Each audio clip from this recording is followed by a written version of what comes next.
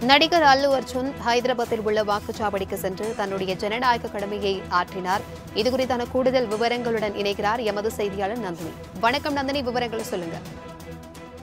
வணக்கம். தெலுங்கானா மாநிலம் ஹைதராபாத்தில் நான்காம் கட்ட வாக்குப்பதிவானது நடைபெற்று வரக்கூடிய நிலையில் நடிகர் அல்லு அர்ஜுன் வாக்குச்சாவடிக்கு சென்று தற்போது தன்னுடைய ஜனநாயக கடமையை செலுத்தி வரக்கூடிய நேரலை காட்சிகளை தற்போது நாம் பார்த்துக் கொண்டிருக்கிறோம். நாடாளுமன்ற தேர்தலுக்கான நான்காம் கட்ட வாக்குப்பதிவானது இன்று விறுவிறுப்பாக தொடங்கி நடைபெற்று வருகிறது. காலை முதலே திரளான பொதுமக்கள் வாக்குச்சாவடிக்கு சென்று வாக்களித்து வருகிறார்கள். மொத்தமாக பத்து மாநிலங்கள் மற்றும் யூனியன் பிரதேசங்களில் இருக்கக்கூடிய தொண்ணூத்தி ஆறு தொகுதிகளுக்கு நான்காம் கட்ட மக்களவை தேர்தலானது தற்போது நடைபெற்று வருகிறது.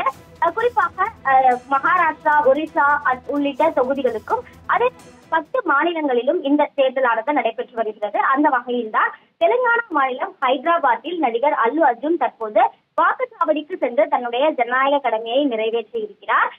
ஏற்கனவே பார்த்தோம் என்றால் மூன்று கட்ட வாக்குப்பதிவானது நடைபெற்று முடிந்திருக்கக்கூடிய நிலையில்தான் நான்காம் கட்டமாக மக்களவை தேர்தலானது தற்போது காலை ஏழு மணிக்கு வாக்குப்பதிவானது தொடங்கி நடைபெற்று வருகிறது. அந்த வகையில் ஆந்திரா தெலுங்கானா உள்ளிட்ட மாநிலங்களிலும் இன்று வாக்குப்பதிவு விறுவிறுப்பாக நடைபெற்று வருகிறது. அந்த வகையில்தான் ஹைதராபாத்தில் இருக்கக்கூடிய வாக்குச்சாவடியில் நடிகர் அல்லு அர்ஜுன் தன்னுடைய வாக்கினை செலுத்தியுள்ளது குறிப்பிடத்தக்கது.